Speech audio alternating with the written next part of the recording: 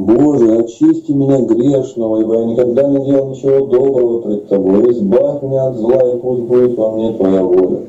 Дай мне, не подвергаясь осуждению, открыть мои недостойные уста, восхвалить святое имя Твое, Отца и Сына и Святого Духа, ныне всегда и во веки веков. Аминь. Восстав от сна, посреди ночи приношу Тебе, Спаситель, песнь, и припадая к стопам Твоим, взываю к Тебе, не дай мне уснуть греховной смертью, лжец надо мной, добровольно расплавшийся, скоро подниму на беспечно бежащего. И спаси настоящего пред Тобой на молитву, и после сна ночного пошли мне ясный, безгрешный день Христе Божий, и спаси меня. Владыка человеколюбче, став после сна, я спешу к Тебе, по милосердию Твоему, принимаюсь за угодные Тебе дела. Я молюсь Тебе, помоги мне всегда во всем, избавь меня от всякого зла в мире, дьявольского искушения, и спаси меня, види в царство Твое вечное, ибо Ты мой Творец и источник, и податель всякого блага. На Тебя вся моя надежда, и я возношу Тебе хвалу, ныне и всегда, и во веки веков. Аминь. Господи, по обильной своей благости, по великому Твоему милосердию, Ты дал мне рабу Твоему, прошедшее время этой ночи провести без напасти и всякого вражеского зла. Ты сам, Владыка, Творец всего сущего, удостой меня просвети Твою истину с просвещенным сердцем исполнять волю Твою ныне всегда и во веки веков. Аминь. Господи, Вседержитель, Боже сил бесплотных и всякой плоти на высотах небесных живущих, озирающий дула земные, наблюдающий сердца и помыслы, ясно видающий тайны человеческие, безначальный, вечный и неизменимый свет, неизменный, который не оставляет затеменного места на своем пути. Ты сам, бессмертный царь, прими моление наше, которые мы в настоящее время, надеясь на обилие сострадания Твоего, Творим Тебе из нечистых уст. И прости нам прегрешения наши, совершенные нами делом, словом, мыслью, воина и невольно, и очисти нас от всякой нечистоты плоти и духа. И дай нам с бодрствующим сердцем и трезвенные мысли прожить всю ночь здешней жизни земной, в ожидании наступления светлого и славного дня, Второе пришествие единородного Сына Господа Бога и Спасителя нашего Иисуса Христа, когда общий судья придется славу за каждому по делам его, да найдет у нас не лежащими, не сонными, но бодрствующими, и восставшими среди исполнения заповедей его, и готовыми войти с него радости божественный чертог славы его, где непрестанные голоса торжествующих и невыразимая радость видящих несказанную красоту лица Твоего, ибо Ты истинный свет, просвещающий, освещающий весь мир, и Тебя воспевает все творение, веки вечные. Аминь. Святый ангел, поставленный блюсти мою бедную душу несчастную жизнь, не оставь меня грешного и не отступи от меня за невоздержанность мою. И дай возможности злому демону подчинить меня себе посредством этого смертного тела. Возьми крепко несчастную, опустившуюся мою руку, выведи меня к спасению. О, святой ангел Божий, хранитель, покровитель бедной моей души и тела, прости мне все, чем я оскорбил тебя во все дни моей жизни. Если чем согрешил прошедшую ночь, защити меня в настоящий день. И сохрани меня от всякого искушения вражеского, что мне не прогнал горе никаким грехом. И молись за меня ко Господу, чтобы Он утвердил меня в страхе своем, и соделал меня рабом, достойным своей милости. Аминь. Пресвятая Владычица, моя Богородица, святые Твоими всесильными мольбами, отгони от меня ничтожного несчастного раба Твоего, уныние, забвение, неразумие, нерадение, удали все скверные, лукавые, хульные помышления от несчастного сердца, помраченного мамы его, и погаси пламя страстей твоих. Ибо я нищ и слаб, избавь меня от многих губительных воспоминаний и намерений, и освободи от всякого злого действия ибо Ты благословенна от всех родов, и Твое честное имя славится во веки веков. Аминь.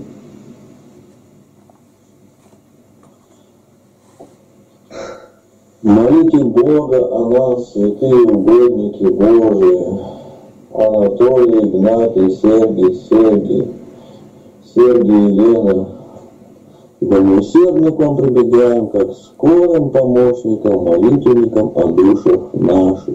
Богородица, Дева, радуйся, благодатная Мария, Господь с тобой, благословенна ты между женами, благословен плод чрева твоего. Ибо ты родила Спасителя душ наших, спаси, Господи, людей Твоих, благослови достояние Твое. Помогая православным христианам побеждать врагов и сохраняя силы креста Твоего в церковь Твою. Спаси, Господи, и помилуй отца моего духовного Игната, батюшку Якима, родителей, братьев, сестер, родственников, начальников, благодетелей, всех ближних моих друзей, и всех православных христиан подай им Твои земные небесные блага, не верши милости Твоих, посети укрепи силу Твою, дай им здравие, спасение души, ибо Ты благ и любишь людей. Аминь. Покой, Господи, души усопших рабов Твоих, родителей, родственников, благодетелей, всех православных христиан, прости им все их грехи, войны и невольно, и дай им Царствие Небесное, все святые упокой Христе, души рабов Твоих, правцев, отцов, братьев наших, там, где нет ни болезни, ни печали, ни душевных страданий, но жизнь бесконечная. Светися, светися, Новый Иерусалим, слава Господа, Господа, я, ликуй не веселися Сионе, ты же чистая, красуйся, Богородица, а восстание Рождества Твоего. Слава Отцу Сыну Святому и ныне всегда, и во веки веков. Аминь. Господи, помилуй, Господи, помилуй, Господи, помилуй. Господи Иисусе Христе, Сыне Божий, молитва ради Пречистой Твоей Матери, преподобных богоносных отцов наших, и всех святых, помилуй нас. Аминь.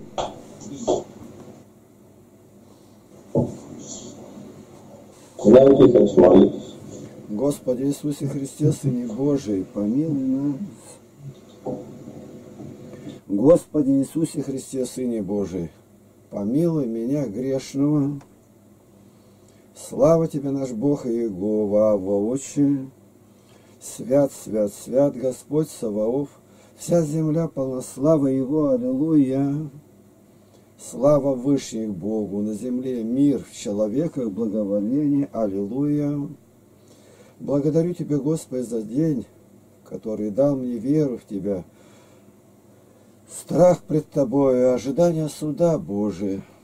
Благодарю Тебя, Господи, за день, который дал мне святую Библию и указал на толкование святых отцов, как на истину. Аллилуйя! Ибо нет иного Бога, кроме Тебя, Спасителя нашего,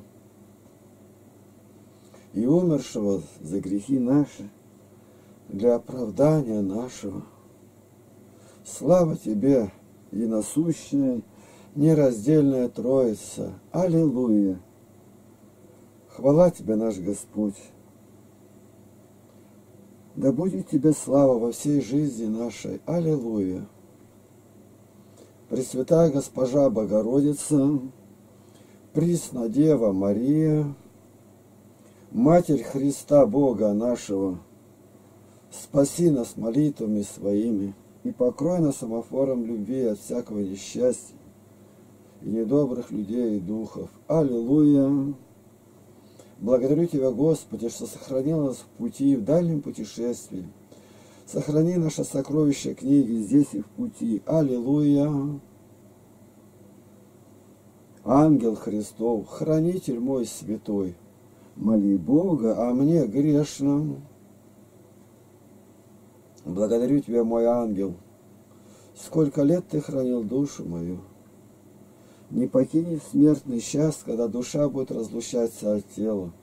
И проведи душу мою по мытарствам, веди ее навеки вечное царство Христа Бога нашего. Аллилуйя! Слава тебе, Боже наш, слава тебе! Иоанн Креститель, Притеща Христов, моли Бога о нас.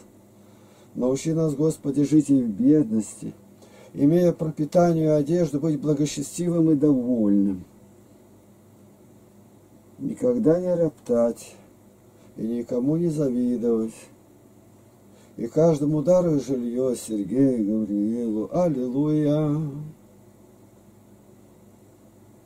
Святитель Христов Никола, мир ликийский чудотворец, образ кротости воздержания, добрый архипастырь, моли Бога о нас. Укрепи народ Твой, Господи, дабы не страшиться ни царей, ни начальствующих, и не участвовать в бесплодных делах тьмы, но и обличать. Аллилуйя! Молите Бога нас, святые пророки, пророк Илья, Елисей, Нох, Моисей, Самуил, Аарон, Иов, Авель, но Иосиф, патриархи, Ездра, Неемия, Амос, Наум, Исаия, Иеремия, Варух, Иезекииль, Осия, Елягей, Сафония, Захария, Малахи, Давид, Нафан, Даниил, Отроки, пророк Михей, Авраам, Исаак, Иаков. Да исполнит Господь Духом пророческим церковь свою, дабы день прихода Твоего нашего отшествия не застал нас не готовыми, но чтобы вышли навстречу Тебе, Господи, с горящими светильниками истинной веры и сосудами, полными илея добрых дел, соделанных Духе Святом с любовью. Аллилуйя! Слава Тебе, Боже наш, слава Тебе! Молите Бога о нас, святые ангелы и архангелы, херувимы и серафимы, и все небесные силы, престолу Божию предстоящие. Аллилуйя! Святые апостолы, и Петр, и Павел, евангелисты Матфей, Марк, Лука, Иоанн, да дарует Господь нам жажду исследовать священное Писание, ибо через них мы думаем иметь жизнь вечную, а они свидетельствуют о Тебе. Аллилуйя! Молите Бога о нас, святые мученики и мученицы, Игнатий Богоносец, Поликарп, Сминский, Устин, философ, Космай, Дамиян, Андрей Стратилат, Иерон Мученик, Климент Римский, Климент Анкирский, Анфимий, Комедийский, Георгий Победоносец, Пантелеимон, сорок святых мучеников, царь Николай, святое царское семейство, Владимир, Вениамин, Иосиф, Борис и Глеб. Молите Бога о нас, да укрепит Господь народ свой, дабы никто не принял начертания зверя Антихриста. Анфиму, Вениамину дай веру и устраши родителей за такое ложное воспитание. Молите Бога о нас, святые отцы Василий Великий, Григорий Богослов, Ян Златоусов, Анасий Великий, Ефрем Сирин, Антоний, Макарий, Макарий, Антоний, Феодосий, Корнилий, Иов, Сергий Радонежский, Стефан Пермский, Серафим Саровский, Ян Тобольский, Ян Кронштадтский, Ян Шанхайский, Кирилл, Мефодий, Иннокентий, Николай Макарий, Алтайский, Филарет, и все переводчики священного Писания. Молите Бога о нас. Да укрепит Господь святую православную веру и освободит от всего ненужного, а замыслы еретиков в ничто преврати и развей. Аллилуйя! Молите Бога о нас, святые жены и девы, Феокла, первомученица, Фатина, Самаринина, Феврония, Вера, Надежда, Любовь, Матерь София, Наталья, Адриан, Варвара, Екатерина, Перепетуя, Татьяна, Ирина, Ольга, Елена, Нина, Мария Магдалина, Мария Египетская, Прескила, Акила, Андроника, Юник, Киприяна, Устина. Да дарует Господь послушание и молчание, целомудрие и стыдливость женам и девам, и сохрани их от всяческого поругания. Аллилуйя! Слава тебе, Боже наш, слава тебе! Исправь непокоривость Галины, семейства и Евгении. Надежды, Надежды, Надежды, Светлана, Мария, Раиса, Лариса, Марина, Юлия, Елена, Людмила, Галина и Анна. Аллилуйя! Слава тебе, Господи, за тихую мирную ночь, что жизнь нашу продлил и разум сохранил. Дай нам желание трудиться, обнаружить и умножить все наши таланты, дарованные Тобою. И для всего пошли нам добрых помощников, наставников и советников. Спаси и помилуй митрополита Илариона, епископа Евтихи, Вениамина, Агафангела, Диамида, Тихона, Антония, священнория Акима, Павла, Геннадия, Сергия, Сергия, Василия, Иоанна, Михаила, Наума, Кирилла, Амбросия, Вадима, Засима, Алипия, Андрея, Владимира, Максима, Дьяконов, Евгения, Александра, Михаила, Андрея, епископа Максима, Сергия, Кирилла, Венедикта, Франциска, Корнилия, Александра, паствы и весь священнический, иноческий чин, и высшие истинные служители миссионеров, христианам, язычникам, иудеям, мусульманам и буддистам, и нам да еще священника, если угодно тебе, смири власти и воинства их, наведи страх Твой на них, и через них сотвори благое церкви Твоей Владимира, Дмитрия, Александра, Дональда, Рамзана, Петра, Александра, Эрдогена, Амана, и даруй мир Израилю, России, Украине, Сирии, и где война идет, и научи нас ценить это мирное время, и приготовь, Господи, земли сию к великим и страшным испытаниям, грядущим на всю вселенную, за отступничество от Тебя. Аллилуйя! Слава Тебе, Боже наш, слава Тебе, сохрани нас здесь селение наше от пожара, от воров, от нечистой силы живущих там Виктора, Андрея, Игоря, Игоря, Серафимовас, Алексея, Иосифа, Романа, Владимира Николая, Михаила, Никиту. Аллилуйя! Спаси и помилуй Татьяну, Наталью, Игоря, Марину, Никиту, Щедрых, Виктора, Сергея, Севастьяна, Людмилу, Нину, Левтину и расширь пределы общин по всех на благовестие. Спаси и помилуй Дмитрия, Марину, Щадых, Валентина, Алексея, Валентину, Надежду, Дмитрия, Дмитрия, Дмитрия, Олега, Алексея, Александра, Александра, отступника. Аллилуйя, Михаила и Николая, путешествующих Раиса. Возри на врагов, разруши их замыслы против истины, против нас. И не дай им погибнуть, пошли им разумление. И в судный день не помяни их безумие, закрой их лживые уста, наведи страх твой на них. И благослови благодетелей, через них окажи нам помощь. Елену, благослови. Евгения, Евгения, Наталью, Максима, Владимира. Аллилуйя! И пошли добрые жители вселения наше с детьми, сохрани школу. Посети болящих, дай силу все перенести с благодарением, и пошли мы исцеление. Сергея, Алексея, Александра, Александру, Валентину, Валентину, Анну, Анну Марию, Антонину, Калерию, Игоря, и нас помилуй милости Твоей ради. Аллилуйя! Сохрани наше сокровище, сайт и корм, что здесь есть, и трудящихся Игоря, помогающих нам Василия, Сергея. И обрати на путь покаяния Тимофея, Тимофея, Мартина и Германа, Александра. Слави помогающие, Светлану, Юрий, Эдуарда. Аллилуйя!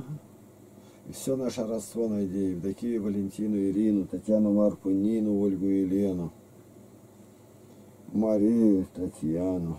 И от пьянства избавив Павла, Михаила, Андрея, Александра, Владимира и Игоря. Аллилуйя! Слава Тебе, Боже наш! Слава Тебе! Будь милостив к нам, Владыка, благослови и умудри. Пошли все необходимое для детей. И расположи к нам сердца начальствующих, сокрой нас от желающих творить пакости.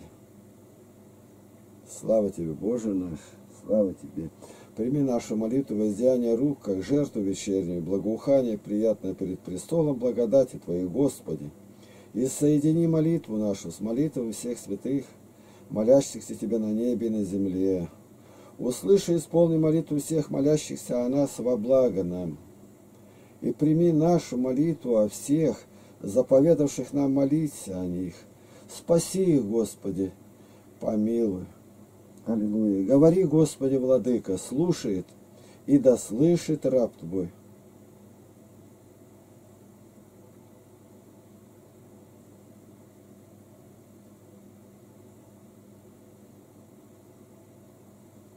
Звук пропал. Слава Тебе, Боже наш, слава Тебе. Доброе утро. Христос воскрес. Я вижу, у нас тут э, э, ну, человек на молитву, когда остановимся, внимательно слушайте. Обязательно. Руки должны быть закрыты до кистей. Это мы детей приучаем, то есть с благоговением. Если расстегнуты, застегнитесь. И обязательно, чтобы руку, пояс, пояс. Что Сейчас пока ничего не говорите, я просто говорю. У нас дети этому приучаются в течение одного дня, когда приезжают, вот в лагере как было. То есть, ну это понятно. Если мы даже в армии находимся, то мы знаем, что есть господин, начальствующий, и как перед ним надо вести себя благоговейно. У нас однажды принято, мы правила это держим, оно никогда не во вред. Златоус об этом всегда напоминает. Если, говорит, мы перед простым даже начальником, и то стараемся привести себя, и как мы положение тела нашего, и каким голосом говорим, тем паче перед Богом, перед Творцом. Так, мы добавляем здесь э, занятия небольшие, как бы к молитве относятся. Ну что там к молитве относится? Пост, милостыня.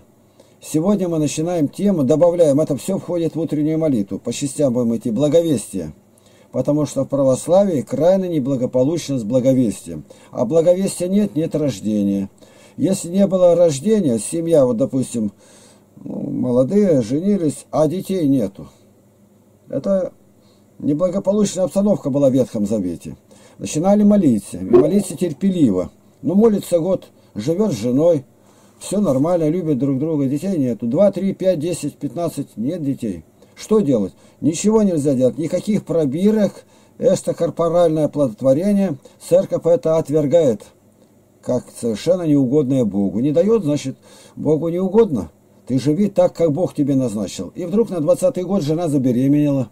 Забеременела двойняшками сразу. Вы знаете, о ком я говорю? Я говорю о Исааке и Ревекке. Это главные герои. Вот сегодня о чем мы будем говорить. И о благовестии. Если благовестия нет, нет рождения. Вера от слышания, а слышание... Слышание не от того, что человек ходит в церковь. Он там может ничего не услышать от Слова Божия. А Слово Божие, оно открыто, Священное Писание. О, и Библия, три названия у нее. Святая Библия, Слово Божие, Священное Писание. Вот Священное Писание, а, ну, у других народностей там другое Священное Писание, там Коран, Веды, Тора. Вот, это у них Священное Писание. У нас Святая Библия называется. Святая Библия. И дальше называется Слово Божие. Слово Божие это конкретизирует определенно, четко от Бога. Все священное писание Бога духновенное, писали его святые Божьи человеки, будучи движимы Духом Святым. Бог двигал ими. Вот. А как это так понять? Ну, я не могу объяснить, мне это не дано, но я знаю, что именно так. Ну а как то испытать? Ну испытать, как тебе Бог дает. Говорит человек или пишет, это одно и то же. Это его жестами выражается. Махнули рукой, значит, человек идет, я ему кричу, иди ко мне. Или да пошел ты, это, значит, уходи. Или показали, а, значит, ты дурак. То есть много жестов, которые показывают. Так вот, э, ну, лишнее не надо, конечно. Оно и жестом можно оскорбить человека. И вот если благовестия нет, рождения нет, трапеза пустая. А в псалмах написано, что когда жена твоя, как плодовитая лоза, дети твои, вокруг трапезы твоей, как виноградные кисти. Это сравнение дается. В Ветхом Завете было рождение плотское. Дети рождались, одни посчитали родители, другие не посчитали, которые из дома тащили, пили, их убивали. Написано, сын мот и пьяница, наркоман. Что делать? Родители должны были заявить старейшинам города. Его выводили за город и сразу убивали. Его не сажали. А то это болезнь, надо его лечить. Наркомания – болезнь, токсикомания – это не болезнь, это пленение дьяволом. Его убивали, написано. И родители должны положить руки на голову и сказать, сын наш мод и пьяница, мод, имение проматывает. И не слушается. И его каждый берет камень, и кам камнями били, ну его привязали, он не убежит никуда, и куча камней огромная была. Это говорит нам в Библии Дух Святой. Но вот в жизни бывает так, когда ты что-то делаешь и даже не знаешь, потом обнаружится. Ну, мы вчера тут, у меня приехал человек близкий, он в Потеряевку уехал помогать, Михаил Михайлович Кальмаев. И у меня стихотворение написано. Ну, утром я на молитве, и вдруг мысль, я, бывает, на строчку там какую-то запишу. Одну строчку, мысль. Ну, а дальше молюсь. Когда кончил, в это время, ну, обыкновенный лист, знаете, какой большой лист закладывает, А4 называется, на котором печатают. Всегда документы, все. И я начинаю писать. У меня стихотворения все по 9 куплетов. В каждом куплете 4 строчки. 9 и 4 – 36. И напротив каждой строчки у меня как бы высвечивается место Библии, откуда взята мысль. Это не, это не просто так. То есть такого в мировой практике вообще никогда не было. И когда люди видят, они, а как это вы могли это узнать? Вот мое стихотворение считает человек, ему нужно 25-30 минут. Но если бы я один взял да и написал, вот смотришь, черновики Пушкина. Пушкин известный человек, поэт. И вот он одно слово так поставит, там посередке вычеркнет. У меня этого нету, вообще ни одной помарки нету. А как это? Понятия не имею. Так это бы одно стихотворение. А то за 9 лет, я сейчас, у меня все записывается, написано 3467 стихотворений. Ну, это не, а, а много или мало? Это означает, все стихотворения взять Пушкина, Лермонтова, Некрасова, Александра Блока, это меньше будет, чем какую цифру я называю. Тем более у них куплетик один там, ну и все. А здесь 36 строчек и при том каждому стихотворению эпиграф из Библии взяты. То есть этого нету нигде и никогда не было. И у меня черновики сохранились. Я их пишу из чистого листа, ни одной помарки нигде нету. А как это может быть? Не знаю. Ну, просто я не знаю, я не могу ответить. Ну а что это за стихотворение? Ну вот сейчас я э, как бы к этой теме-то подхожу и на экран выведу, пока покажу. Вот здесь у меня есть где-то стихи. Вот. Некрасов пишет так. Вот День Победы. А одна сестра мне сказала, говорит, у меня напивается День Победы, там порохом пропах, ну поют. Харитонова Владимира, Тухманова музыка.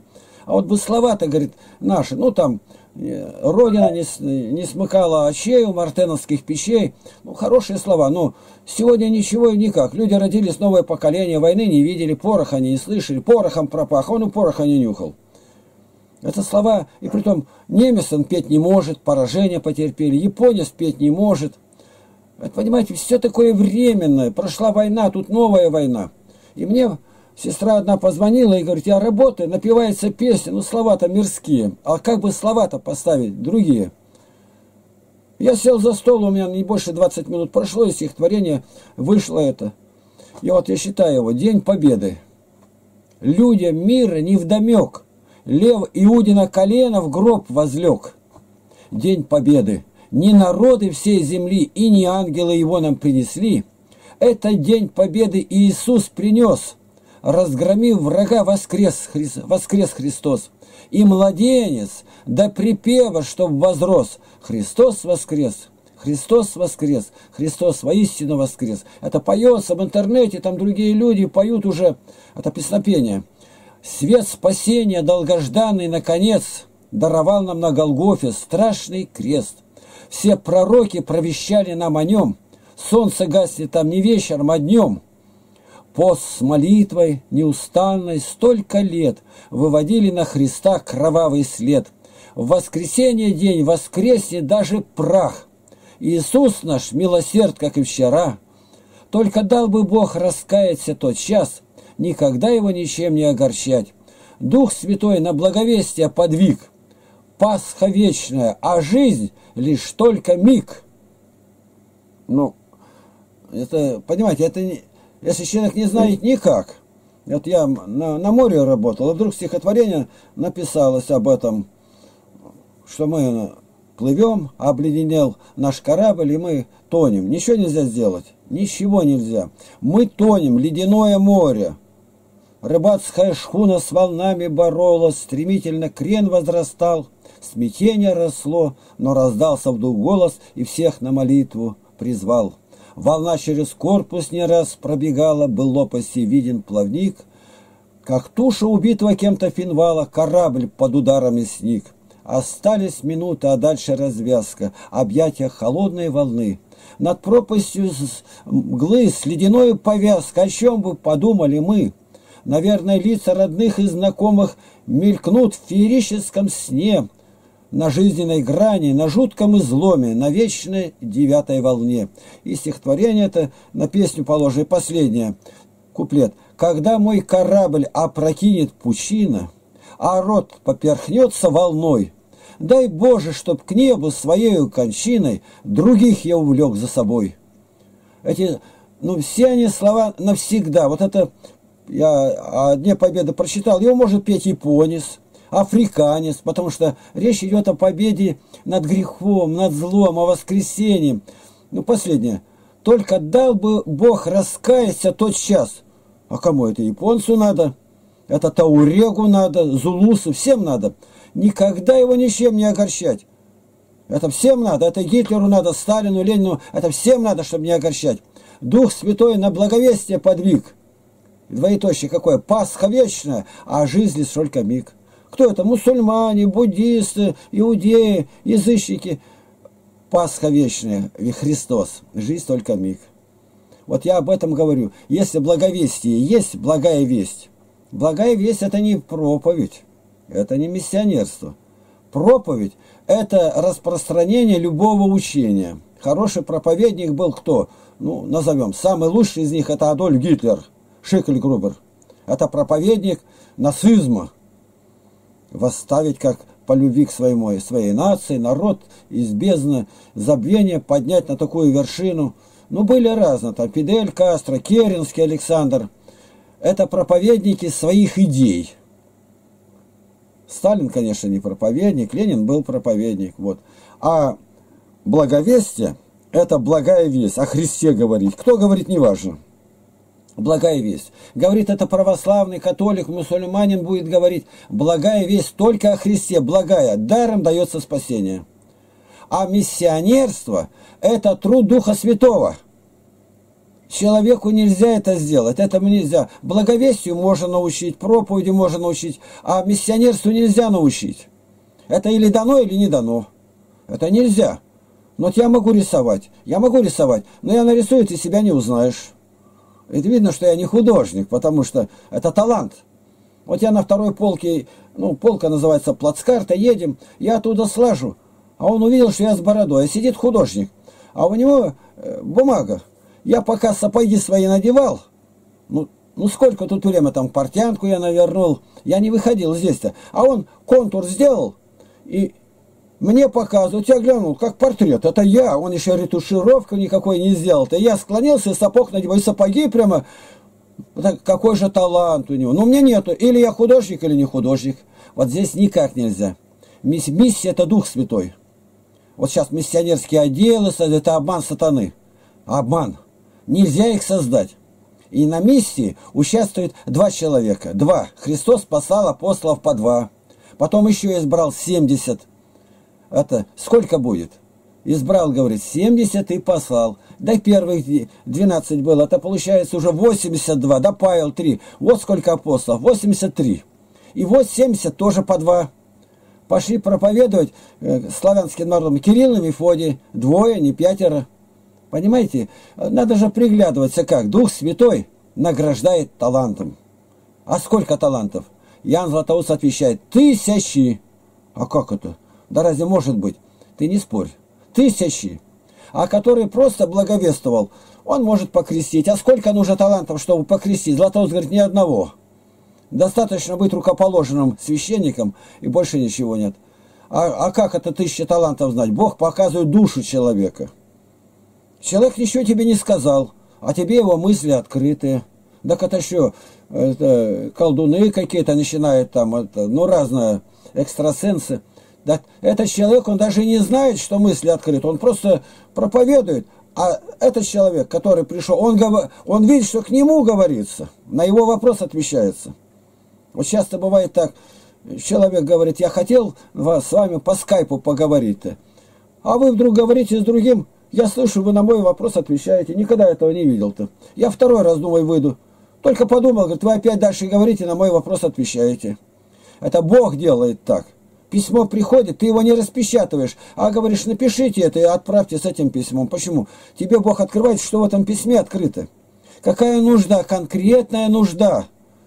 Не нравится или не нравится? Благовестник может соразмерять времена и смотреть, а у миссионера этого нету. Он смотрит выше голов. Так сказал Господь, и все. Смерть грозит. Ему это разницы нет. Смерть его повешают, там кишки из него будут наматывать. Не, не имеет значения. Он исполняет миссию Духа Святого. Дух Святой повелел не идти. И он никуда не идет. А почему? Не знаю. Павлу Господь не открыл, почему он в миссию не должен идти. Мы, говорит, предприняли идти, Дух Святой не допустил. Дух Святой, не Нерон. А как? Не написано. А можешь что узнать? Можешь, когда будешь обладать этим талантом. Это нельзя доказать. Нельзя, это благодать Божия. Вот Светлана Копылова, если кто знает, то там про одного художника она поет. Э, хорошо составлено, я не знаю, автор она или кто как он писал, увидел девушку, и когда нарисовал он ее, а, ну, отойти нельзя было. И она говорит, хорошая у вас кисточка. Он говорит, при чем тут кисточка? Это талант. Это мой талант. Она говорит, нет. Вы сами являетесь кисточкой в руках Божьих. И она вся состав... так составлена в стихотворной форме и поет-то. Он, да нет, это я, я. Я могу сделать так, что углем нарисовать ясно солнце будет светить. Углем темную ночь не изображаю. наоборот, и белой краской ночь изобразить. Он берет холст, меняет, краски меняет, ничего не получается. Он падал и выл и кричал, а его на аукционах разбирали, такие росли цены на его картину. Все! И он уже перед смертью в своей лачуге сидит один на закат, смотрит и говорит, все в руках Божьих. Не гордись, но бойся, это все Божье. Бог делает так. Вот посылает другой раз, бывает человек – и говорит, у меня вот отец такой, он хороший отец, но пьет и курит, и очень гневливый, маму бьет. И, и сколько я ему говорил, давал книги читать, он никак. А вы могли бы с ним побеседовать? Не знаю, но я его приведу к вам тогда. Ну, как это ко мне? А я вас приглашу, вы в комнате моей, говорит, будете сидеть, а вы с ним поговорите. Он пьет редко, ну, и он кроткий такой, хороший. Ну, отец родной, понятно, заботится. Но я сижу здесь рядом. Он зашел. Здравствуйте. Здравствуйте. Все. Я ему хочу сказать. У меня уста закрыты. Я ничего не могу сказать. Он в столярке работал, как там, какая вещь была у него в руках. Он так с ней зашел, как сейчас перед глазами стоит. И я ничего не могу ему сказать. Проходит какое-то время, он постоял маленько, ну, сказал о себе, где он работал, там, в шахтах, труженик. Потом этот человек, когда отец ушел, он говорит, а почему же ему ничего не сказали? Я говорю, не могу объяснить. Я не могу объяснить. Бывает человек полуживой, там туберкулез, я 18 лет только в тюрьме работал, сам по камерам шел. Я говорю, и каются люди. Становятся на колени, преступники плачут, меняют показания, они лгали, вызывают прокуратуру и теперь открывают все, что они делали.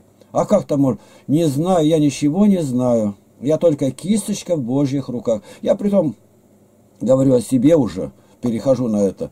Я знаю, о чем говорю. И сеющий, говорящий слово, и поливающий, который придет, дальше будет помогать. Ничто, нуль. А все Бог, возвращающий Бог. Когда Бог это делает, на душе радостно, а ни гордости, ничего нет. А это не мое. Бог сказал, возьми, переложи. Я взял, переложил. Ну, какая моя гордость? Ну, большой каравай хлеба. Ну, Бог, или кто-то испек, и говорят, вот сидят дети сирые, отдайте им. Ну, идти рядом, я прям тоже передал. Какая моя заслуга-то? Я его не пек, хлеб не выращивал, детей не приводил, я их и не знаю. Вот так и проповедь. Вот это миссия – И поэтому миссионерские отделы – это обман. Они бесталанные, жестокие, коварные. Они злые такие. Ну, возьмите Дворкина, это главный у них сектовед. Он ничего не знает. Наркоман, хиппи. И там приехал сюда из Америки, из Израиля. Там, он всех перессорил. Сейчас сектант, сектант, сектант, он сектовед. А такой должности вообще нету, обман. И он получает деньги. Он обратил кого-то? Нет, конечно. Он сам не обращенный, мертвый, злодей. Один из самых страшных злодеев в России на сегодняшний день. О нем столько сейчас в интернете пишут, его разложили по молекулам. Все, что он делает. Дворкин в Москве. И патриархия его принимает. Я попутно говорю. Вон ему дали мои книги, у меня 40, э, сколько, наверное, 43 книги фактически это вышло, 38 в бумажном варианте. Ему на исследование, чтобы меня объявить еретиком. Он ничего не мог найти. Но пакости всякие делают. Там Роспотребнадзор на меня натравили, чтобы лагерь детский закрыли. Мы вчера рассуждали об этом. У меня моих только роликов в интернете 7200. Вы найдите, у кого в интернете есть только роликов. Что я делаю сам, что ли? Это нельзя сделать? Нельзя.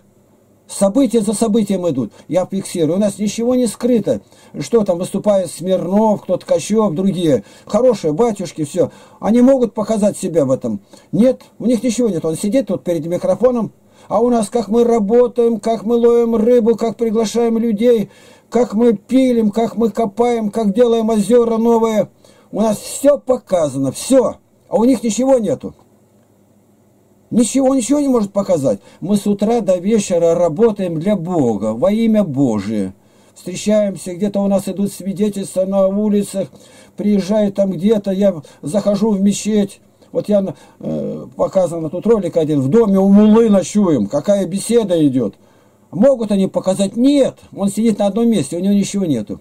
Может он показать души, которые приняли Христа, не зная о нем. Он никогда не покажет. А ничего там и нету. Ученик не выше своего учителя. Что это? Благовестие. Итак, сейчас я добавлю о благовестии, а вступление делаю все еще. А благовестие, это из книги к истинному православию. Это моя книга. А я материал 40 лет собирал на нее. Этой книги нет аналога мировой практики. Нету. Вот сейчас Андрея Курая все знают. Известный, как его называют, протодиакон всея Руси. И недавно сейчас в интернете появилась моя большая такая статья о мощах. Что такое мощи? И он пишет, и в конце пишет, это взято из материалов Игнатия Лапкина, то есть от меня. Он приезжал, у меня здесь был, книги у него есть. А почему он не свое поставил? А нету более полного материала, нету. И он это сказал. Я ничего нового, говорит, не открыл. А Игнатий открыл целые пласты, забытые нами за 2000 лет.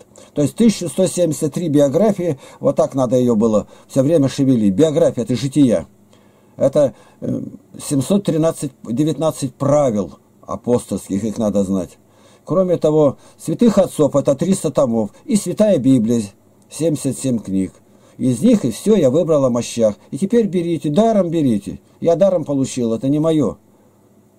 Это мое, там ничего нету. Я только связующие слова говорю. И еще сказал Ян Златоуст. Вот это мои слова. Дальше что сказал Златоуст? А Златоуст это 12 томов. В 12 томах о том каждый по 800 страниц. И там всего только нашлось 10 строчек, но их надо было найти. Понять, о чем говорится. Житие большое, бывает 50 страниц. Страниц? Но о мощах сказано только один раз, в середине жития. А кто знает? Никто не знает. Ну а выступают там такие батюшки? Не знают. Андрей Кураев даже этого не знает. А он-то больше всех их знает, профессор. Он занимает. А Осипов и Осипов не знает. А как вы знаете? Иначе бы сказали, мой материал зачем вы брали-то? Они прямо указывают, взято у меня. А как это может быть? Вот это я не. У них образование профессора, а у меня-то образования никакого нету. Никакого. Просто я кончил 10, закончил 10 классов, строительный техникум, мореходное там училище выгнали оттуда. И у меня ничего больше нет, но я день и ночь учусь. 54 года у ног Христа сижу. Итак, идите научите все народы, крестя их во имя Отца и Сына и Святого Духа, уча их соблюдать все, что я повелел вам. Матфея 28, 19, 20. Ну, понятно, во имя Отца и Сына и Святого Духа. А дальше Евнуха Филипп крестит. И не крестит во имя Отца и Сына Святого Духа, а написано во имя Господа Иисуса Христа. И теперь, когда Петр рассказал, что они распяли Христа, евреи и прочее, натворили это что они натворили? Это 2 глава, 38 стих Деяния апостолов. Иудеи воскликнули, а что нам делать, мужи и братья? Он говорит, покайтесь. Первое. Второе. И да крестится каждый из вас во имя Иисуса Христа для прощения грехов. Второе. И третье. Получите дар Святого Духа. Не написано, да крестится во имя Отца и Сына Святого Духа, на имя Господа Иисуса Христа. И некоторые перестали крестить сейчас. Я знаю, секта такая, именники, единственники. Во имя Отца и Сына Святого Духа они не говорят, а крестятся во имя Господа Иисуса Христа. Ну, правильно, так написано. А что это означает? Потом а, из них там еретик один зашел на меня. Ну, это вот мы так, а вы почему не так делаете? Я говорю, а вы откуда вы узнали, что надо так крестить? Ну, написано. Ну, написано. Ну, вот-то еще написано, Матфей, это Христос сказал. И надо нам совместить это, а не так, что это я возьму, а то отброшу. Библия все Писание Богу вдохновенное. Ну, да как крестили во имя Господа Иисуса Христа. Мы уже говорили об этом. Но написано во имя Отца и Сына и Святого Духа. Он опять свое, но во имя Господа Иисуса Христа. Ну ты с этим-то соедини, примири два места Писания. А что такое секта? Это узы взгляда на истину. Он ищет истину, он один стих берет и узнал, что Бога Иегова звать. Иегова, Иегова, Иегова, Иегова. Да мы знаем, что Бог Иегова. Но мы его назнаем, что он Саваоф. У Бога 500 почти имен. Он говорит, я есть истина, наверное, виноградная лоза. Он Сын Божий называется, Отец вечности ну, 7.14 пророка Исаи, там написано все имена, и они не могут. Это означает, я говорю, что поверил ты в Господа Иисуса Христа, во имя Его крестишься, но над Ним произносили слова во имя Отца, полное погружение, во имя Сына, аминь, во имя Духа Святого, аминь. Вот что означает. Теперь все стало на место. Крестится во имя веры в Иисуса Христа, а слова произносят вот эти – а как вы узнали? Да никак я не узнал. Это церковь православная сохранила. Я не придумал ничего, и мне легко на душе. Они еретики. Они отвергли церковь православную, апостольскую, соборную. И каждый тянет в свой угол, говорит, на себя одеяло. Вот теперь мы узнали. Это одно место. У них на каждом шагу, шагу их толкования все противоречат друг другу. Две. Вот сколько голов, говорит, столько умов. Я говорю о благовестии. Мне приходилось чуть не во всех столичных городах Советского Союза проповедовать перед разными сектантами, и не было ни разу нигде, что Бог посрамил. Вот сидят, притом все сто процентов согласны. В одном месте дали слово в баптистском собрании, там 450 человек. Это большое собрание. И после встал пресвитер, говорит, мы все до одного готовы принять православие сегодня же. Вот такое, когда они покажут, которое называют там Дворкины, тогда я скажу, вы, правда, ребята, наверное, близки к миссионерству. Миссионер ничего от себя не может сказать, Дух Святой ему полагает. Миссия, почему? Потому что Христос исполнил миссию Отца, а мы миссию Христа исполняем. Они не понимают. Кому сказал Христос эти слова? Идите, крестите. Во имя Отца и Сына и Святого Духа. Одним ли апостолом или через них епископом? Или пресвитером и диаконом? Или всем уверовавшим в него? Это я вопросы задаю в этой статье о благовестии, в книге к истинному православию. При всеобщем священстве, при благодатной освященности, которую получает каждый член церкви в таинстве крещения миропомазания, эта освященность осуществляется действием Духа Святого, который усыновляет христианина Богу Отцу – посвящая его в сам мирянина, члена церкви, таинственного тела Христова.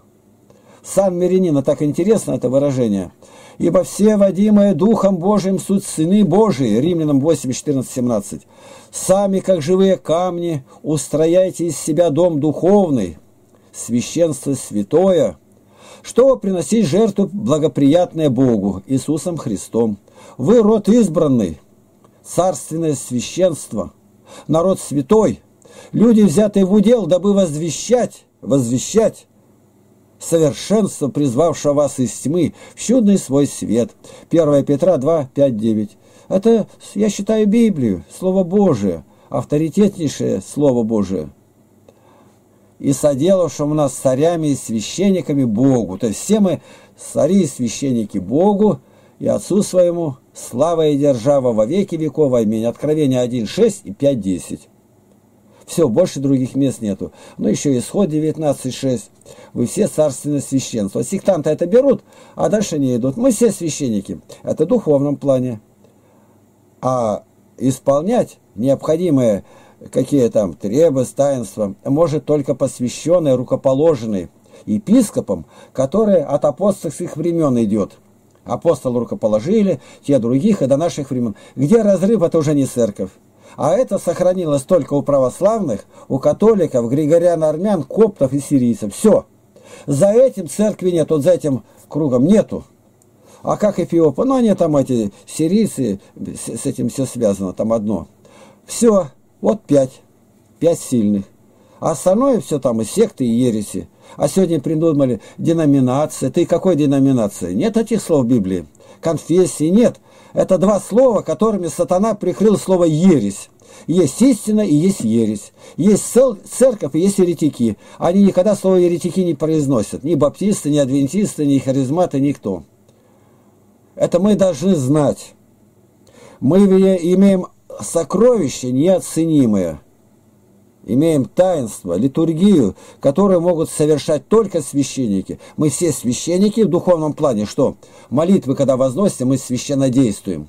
Когда проповедуем, священнодействие, благовестие исполняем. Но чтобы совершить таинство, чтобы хлеб превратился в тело, вино в кровь, это делает Дух Святой только через священника. Вот когда Никон сделал реформу, и кто не согласился, они остались беспоповцы называются, православные. Некоторые смирились, а стали доказывать, что священство вообще кончилось, а другие стали искать. Искали, искали и нашли. 180 лет без священства было. Вдовствовала церковь. Это старообрядцы белокреницкой иерархии. Вот, они нашли э, митрополита Амвросия, он рукоположил Павла и Алипия двоих, хотя правило апостольское первое запрещает. Но по великой-великой нужде бывает. Я могу назвать там амфилохи, которые были, делали это Анфимник Медийский. Это было такое. Вот они восстановили свое священство. В Москве это на Рогожском кладбище, Рогожский поселок называется. Там они находятся. Это тоже православное. И вот это, ну, если ты не знаешь, ты куда-то впадешь в какую-то ересь, обязательно. Некоторые отходят, а я никак не называюсь. Я сам по себе.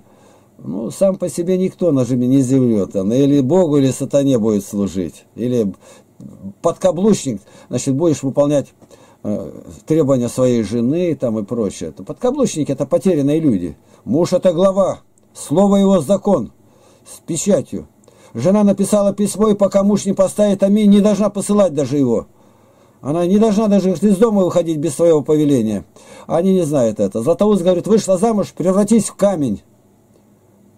Учить жене не позволяю не властвовать над мужем, но быть в подчинении – а кто это говорит? Павел апостол. Подкаблучники, они этого не знают. И, ну, что на это сказать? Ему ничего не Бог и не доверяет никогда. Мужчина, у него обязательно борода. А сегодня они бреются. Почему? Они на баб похожи. Две, две мамы в одном доме. Мужчина бороду не трогает, не подбревает, ни усы, не подстригает, ничего. Нельзя трогать. Это другой вопрос о бродобритии. Вот на сегодня все. И сейчас я отключу вас, кто здесь есть, и сразу начинаю, мы каждое утро даем отчет за прошлый день, называется «События дня». Уже где-то 530 роликов нас насунули одни, говорят, это враги вас натолкнули, чтобы давали, а теперь и враги попятились. У нас такие интересные эти события дня, притом полезные, материалы включаются. Сейчас я отключаю, проверю, кто будет слушать, если, потому что мне же не видно, я спрошу. Все пока на этом. Слава Богу, что мы помолились. Теперь я сейчас отключу.